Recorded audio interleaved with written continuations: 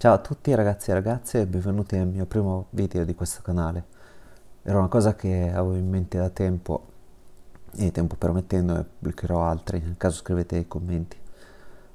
Oggi vediamo come configurare Windows Live Messenger che è ritornato su Windows 10. Successivamente ho in mente di fare altri video su Linux e anche su Windows 7.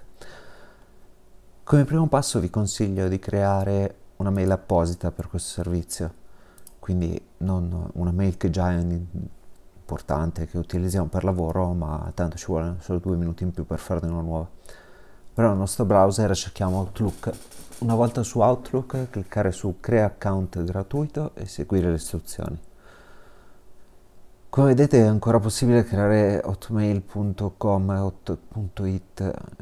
Una volta creata la mail cerchiamo poi tramite browser sempre l'escargot chat che è la pagina dove ci si può registrare al servizio. Uh, cliccare poi qua escargot chat. I link sono nei commenti poi successivi. Cliccare in alto a destra c'è login e sotto sotto email c'è eh, in blu don't have an escargot account. Clicchiamo su quello e facciamo la registrazione. Inserendo il nostro indirizzo mail eh, la username a scelta. Può anche essere diversa dall'email e una password se usate la versione 8.5 di Messenger, le, lo step 2 optional lasciate tutto così senza selezionare niente. Successivamente, eh, finito create account, vedete se è andato tutto a buon fine, andiamo alla schermata downloads. E nella schermata downloads in fondo, dopo aver selezionato MSN Live Messenger, vedo che c'è anche Yahoo Messenger, magari lo proveremo anche quello, anche se credo che sia un po' meno utilizzato. Andando, facendo scorrere la pagina, andiamo fino in fondo e cerchiamo la versione italiano. Eh, ho scaricato la versione patched già e non mi ha dato particolari problemi della versione però 8.5 la VLM 2009 nel mio Windows 10 mi ha dato dei problemi quindi ho scaricato questa ed è funzionante scarichiamola nel punto in cui volete. Io per l'installazione ho utilizzato risoluzione problemi di compatibilità programmi che è tramite clic destro e poi si attende un attimo si testa il programma dopodiché si, si attende l'installazione che va a buon fine.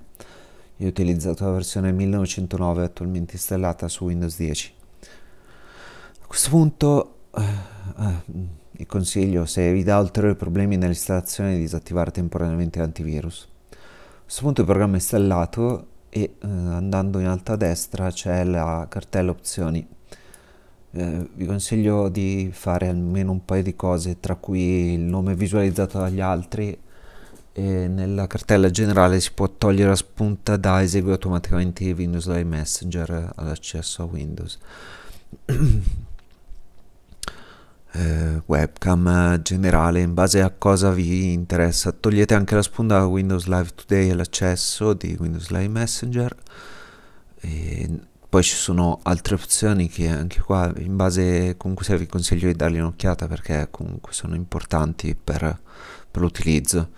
Ad esempio suoni o nei messaggi comunque si è tolto anche riproduce automaticamente le emoticon alla ricezione per ogni cosa ho fatto applica quindi per poi mettere in moto le nostre opzioni. E altro che c'è consiglio di rimuovere anche cartelle condivise perché non so quanto sia poi sia sicuro lo sto testando questo server di escargot.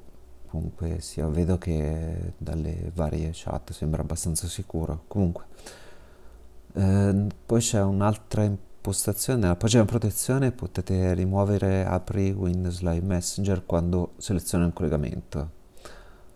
Salvare e chiudere, eh, per quanto riguarda poi il trasferimento file, schede, io ho messo nascondi schede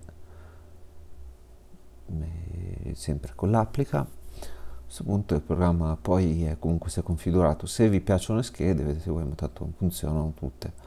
Quindi le schede io le ho tolte.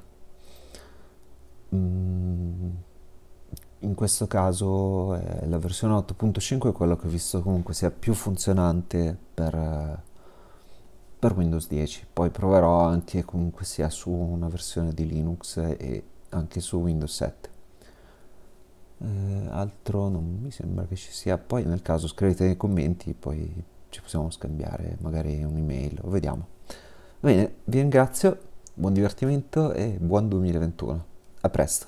Ciao